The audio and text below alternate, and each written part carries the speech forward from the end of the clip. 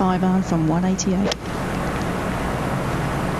Starting on the left side, trying to fade right. Oh, it has to be a similar line to the one she played when she played that great hybrid a few years ago to win. Will it?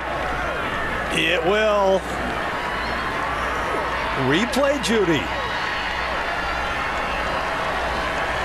Pretty much, yes. Don't you love it?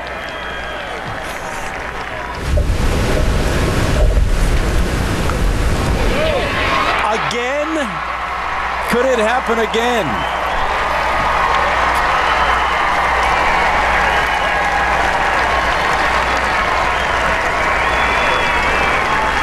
A championship that's bordering on the absurd. All the twists and turns of this back nine.